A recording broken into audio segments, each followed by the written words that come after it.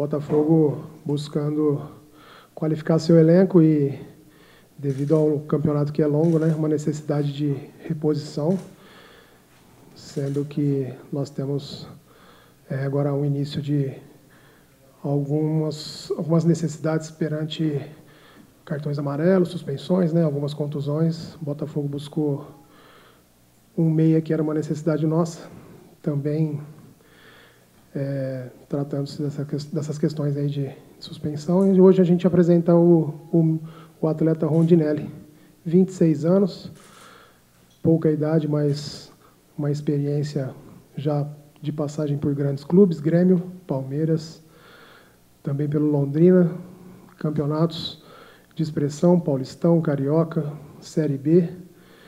E o Botafogo sente-se honrado em receber o atleta aqui hoje em Ribeirão Preto. A semana foi uma semana bastante corrida, onde eu cheguei.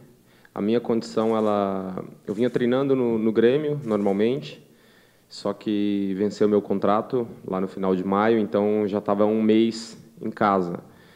Estava treinando, mas a gente sabe que não é a mesma coisa. Falta um, falta o, eu digo que é o lado de campo, é a parte do dia a dia que a gente perde um pouco. Mas devido a essa necessidade, tenho conversado com a comissão e a gente vai decidir o que vai ser melhor, o que vai ser melhor para o Botafogo e para mim. Mas como tu falou, realmente o time tem uma necessidade agora, então a gente vai ter que talvez queimar algumas etapas, que eu acho que faz parte também do momento. Qual é a tua expectativa agora no Botafogo, né? Você acha que pode ser um recomeço aí? Olha, quando eu recebi o convite, a única coisa que veio à minha cabeça realmente foi recomeçar eu preciso voltar ao cenário, preciso voltar a fazer boas exibições. E quando me apareceu a camisa do Botafogo, eu achei que fosse uma camisa muito forte, onde o time estava bem num campeonato que eu ainda não tinha disputado, mas que por que não encarar, não encarar esse desafio? Então eu estou vendo como um desafio para mim, para realmente alavancar minha carreira novamente. E só explica por que do nome Rondinelli. É, o nome do Rondinelli é por por causa do atleta do, do Flamengo. Meu pai é, é, flamenguista e na época ele fazia bastante sucesso e então ele resolveu colocar o nome. Rondinelli, é, boa tarde. Eu queria te perguntar a respeito quando você, o seu nome foi especulado aqui em Ribeirão Preto. A gente automaticamente já busca aí, é, o seu nome não foi tão difícil achar pelo seu currículo é, e as equipes por onde você passou, aquele episódio é, do Barcos, onde você estava no Grêmio, você depois acabou indo para a equipe do Palmeiras, é, foi campeão com o Palmeiras, né, tem esse título no seu currículo. Eu queria saber, é, para você, na carreira do jogador, o que é a experiência num grande clube como o Palmeiras, no Grêmio, a portuguesa, é, te deu de bagagem para hoje você colocar em prática aqui no Botafogo? É, eu acho que uh, o tempo, o dia a dia, ele nos ensina. Eu digo por mim mesmo. Aprendi muita coisa, fiz muita coisa boa e muita coisa errada também, que o tempo ele não volta. Então, acredito que na, nas próximas vezes a gente sempre está um passo à frente, mais preparado, com mais bagagem. Então, acho que a experiência é isso. E às vezes a experiência realmente não é a idade. Alguns precisa de menos tempo, outros de mais. Eu acredito que hoje eu estou um jogador mais preparado, principalmente mentalmente. Rondinelli, você é, disputa ali né, uma, uma posição com atletas que já estão adaptados, já estão ambientados é, e, e, estão rendendo, é, no caso do Moraes, por exemplo, até mais do que esperado, é, para um atleta de 32 anos de idade, uma Série C, que exige muito né, de, de correria, da parte física e etc. E você vem justamente para brigar por uma posição com jogadores também de expressão, né, que já tiveram as mesmas experiências que você em grandes clubes.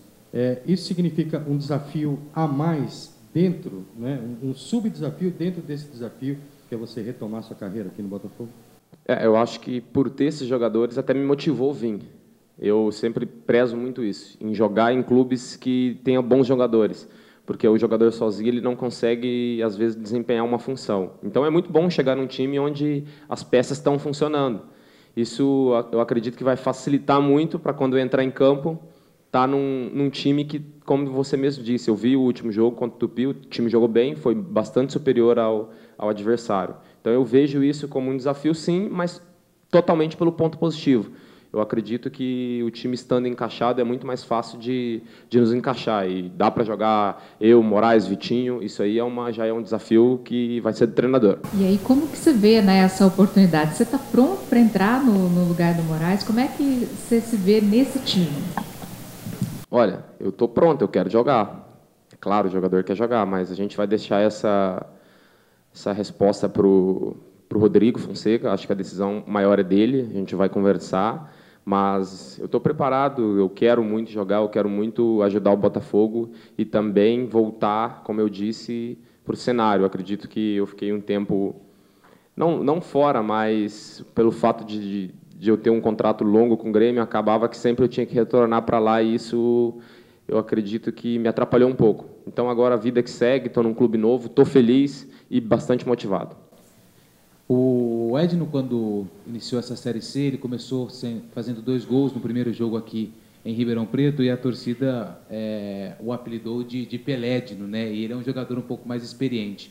E a gente fazendo algumas buscas a respeito do seu nome, quando você surgiu no Grêmio, é, foi feita uma comparação também com um, um craque do futebol mundial, que foi o Riquelme, né? Ter apelidado de Onde Kelme, se não me engano. Isso. É, isso te atrapalhou ou você gostava dessas comparações ou isso é, foi uma coisa muito, muito acima e acabou, enfim, te atrapalhando. Isso foi bom ou isso foi ruim, essa comparação com um cara que foi sensacional na função que você joga no meio campo? É, isso eu diria assim, não, ruim o jogador não, não acha ruim, mas é uma coisa que às vezes é cedo para falar. Ele, isso foi atribuído, é uma coisa assim, às vezes no futebol nem tanto, mas no dia a dia meu de Grêmio, no Palmeiras, os amigos me chamam assim até hoje. Meus amigos às vezes me chamam de como tu disse, de Ron Riquelme, mas não, eu não me importo com isso, mas eu acho que o Riquelme foi um craque de bola, eu tenho muito caminho a andar, mas a, é pela característica, talvez, um pouco mais técnico no estilo de jogar, mas eu acho que a comparação, ela, de uma certa maneira, ela pode ser ruim, tem um lado bom, mas pode gerar uma, uma expectativa para um lado ruim. O Riquelme é um jogador consagrado, multicampeão, então eu acho que vamos com o Rondinelli. Para finalizar da minha parte, apesar da sua motivação, apesar da sua vontade, apesar da sua ansiedade, apesar de todos os apesares, é, vamos à prática. Quanto tempo de jogo você aguenta num ritmo forte? É, essa é uma pergunta que estamos nos fazendo, né? A gente fez alguns testes. É, como eu disse, não está definido ainda. Vamos está conversando, acredito que entre hoje e o jogo, que ainda é domingo, a gente tem um tempo para analisar melhor e ver a, o que realmente é a melhor coisa a se fazer, tanto para mim quanto para o time. Eu acho que não dá para prejudicar nenhum dos dois. Talvez a gente queimar etapas, como eu disse. Então, acho que tem que ser uma conversa mais. Ainda não está definido. Eu não, não, não tem como eu te falar quanto tempo eu aguento, se é 60, se é 70, se é 40 sendo que realmente ainda a gente não, não tem uma, uma resposta por enquanto. Só mais uma questão em relação a, a a gente tem visto muito no futebol o jogador fazer mais de uma função. Você nesse, nesses times que você passou, você conseguiu é, desempenhar uma outra função além do meio campista? Você pode jogar um pouquinho mais avançado, abrir pelas laterais? É, você tem essa possibilidade porque você jogou no Audax. A gente vê que o Audax tem muito disso, né? Os jogadores eles não ficam em apenas uma posição, porque é uma característica do Fernando Diniz. Você também consegue, é, você faz outras funções além do meio? Consigo. É, ali do meio para frente, na verdade, joguei de tudo. Eu joguei aberto pela esquerda, eu joguei aberto pela direita, eu joguei como a minha função mesmo, que é no, de meia, armador, que é o cara centralizado, que essa é a minha real função.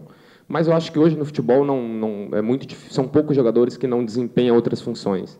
Mas eu joguei de segundo volante, e vendo o time do, do Rodrigo Fonseca, eu me encaixo bem ali em, em qualquer uma das funções do meio para frente, inclusive na linha do, dos meias também, que é um pouco mais recuado, que é para começar o jogo. Ano passado no Londrina não tinha esse meia armador e então eu joguei bem dizer uma série bem inteira como segundo volante.